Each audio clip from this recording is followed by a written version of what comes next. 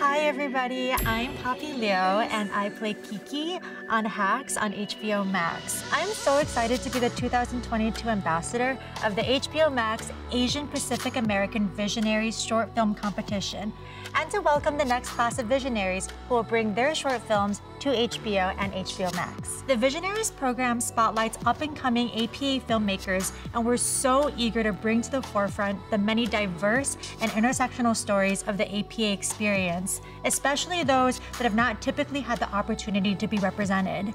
The HBO Max APA Visionaries Short Film Competition is now open for submissions. The top three films will be selected to appear on HBO and HBO Max and win cash prizes. The Visionaries program gives filmmakers the opportunity to share their stories the way that they want to a global audience. We want to see short films of all genres, as long as they comply with competition guidelines. For complete official rules and more information, visit HBOMaxVisionaries.com. So what are you waiting for? Take the lead in telling your own story and submit your short film today.